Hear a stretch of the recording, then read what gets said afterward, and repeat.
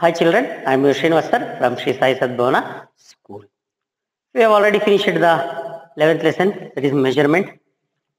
In that measurement we have studied about the length and everything, centimeters, measurement uh, about the length we have studied, centimeter, meter, kilometer, everything we have studied in that lesson. Now we'll move to the measurement in that mass.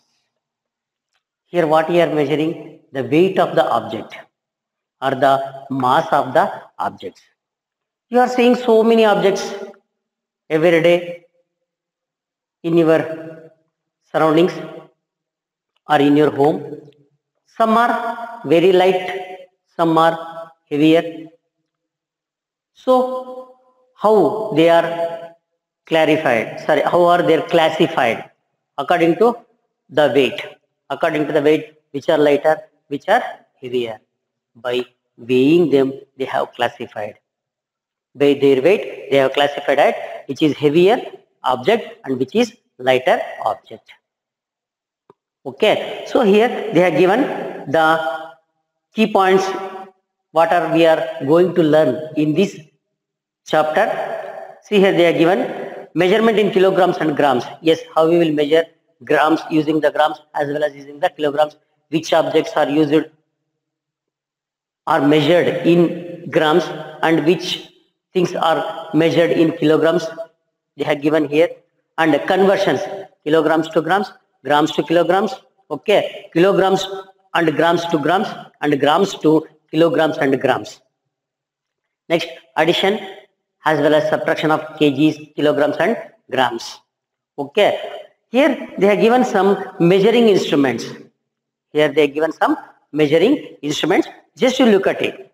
Different objects have different weights which are either light or heavy. Hence, different weighing machines are used to weigh them. Yes, all the objects are not weighed in a single balance. What we call it as the balance which is used to weigh the objects. The thing which is used to weigh the objects is called as balance. What we call it as balance. It will balance.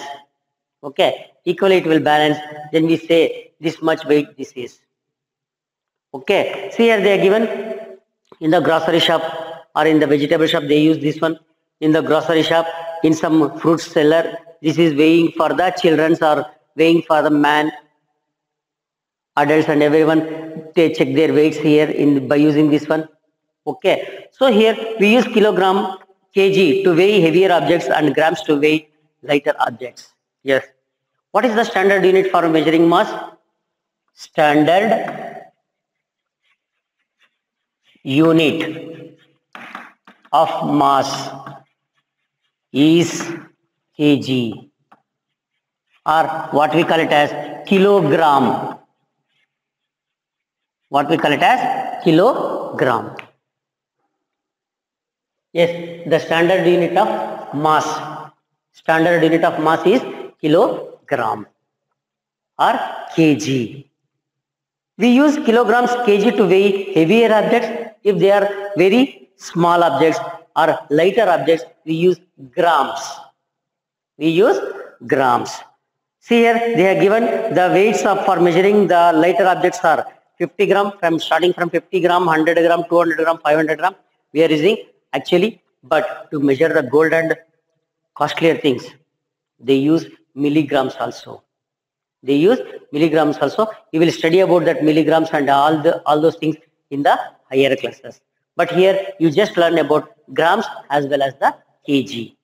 If it is heavier they will use quintal ton like that.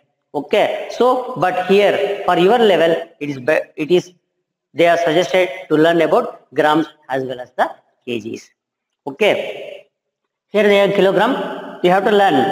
1000 grams is equal to 1 kg. How many grams are there in 1 kg? 1000 grams. 1000 grams is equal to 1 kg. Then you are purchasing 1 kg onions or 1 kg apple 1 kg oranges. In that 1000 grams are there. How many grams are there? 1000 grams are there in 1 kg okay so he, these are the measuring instruments which are used for measuring the weights. Measuring the weight, weight of an object. See here, they are given the measuring heavier objects. How they will measure? They are given 1 kg, 2 kg, 5 kg and 10 kg weighing things are there so they will balance they are keep this one side and they pour the other thing that what they want to weight in the other side. If they will balance then we say it is equally balanced. Then we say 5 kgs 10 kgs 2 kgs. If you want to weight 8 kg then they will use 1 kg plus 2 kg plus 5 kg total 8 kg. If they want to weigh 4 kgs 2 kgs 2 time or 5 kg this side and 1 kg that side then they will make 4 kgs 3 kgs 2 plus 1 kg for 9 kgs. 5 kg and 2 kgs of 2 stones they will use. Okay. Next for 10 kg 15 kg both they will use. Like that they will use these one for measuring the objects. For measuring the objects. Also the standard weights which are normally used in weighing balance are they are given here 1 kg 500 gram 200 gram 100 gram and 50 gram. Okay. So we are using the everything what we are using in our home they are manufactured by 25 gram or 50 gram 100 gram. For example elachi that all those things packed for 50 grams. When you purchase the purchased in the store just to check the weight. They have given net weight. How they have marked net weight.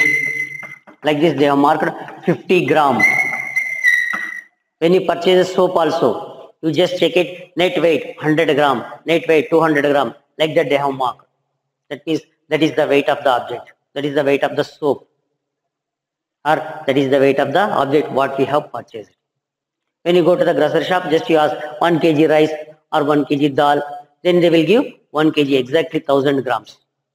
Exactly 1000 grams. I hope you understand. Up to here. See here they are given 1 kg is equal to 1000 gram. That is 2 times of 500 grams. 2 times of 500 grams. So in 1 kg 2 times of 500 grams are there. That is 500 into 2 you get 1000 grams. 500 to the 1000 so 1000 grams. Next 1 kg is equal to 1 kg is equal to 5 into 200 grams how many 200 grams are there? 5 times 200 grams are there in 1 kg. Okay? In 1 kg 10 times of 100 grams are there. 10 times of 100 grams are there. 100 gram 100 gram 100 gram you put 10 times then it is equal to 1 kg. Next come to 50 grams. So 1 kg is equal to how many 50 grams? 20 times of the 50 grams if you want to make equal for 1 kg with the 50 grams how many times you have to put? 20 times. 20 times you have to add 50 50, 50 grams. Then it is equal to 1000 that is 1000 grams or 1 kg. 1000 grams are 1 kg. So you understand up to here. Next we will move to the they have given another one see here. 500 gram is equal to half kg half kg. Okay. 250 gram is equal to 1 by 4 kg. 750 gram is equal to 3 by 4 kg. 1000 gram is equal to 1 kg. Yes.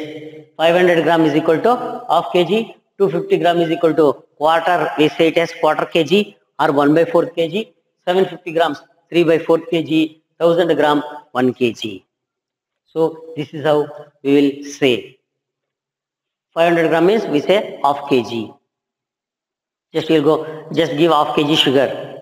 We don't ask 500 gram sugar. Just we ask half kg sugar. And for 250 grams we will ask quarter kg.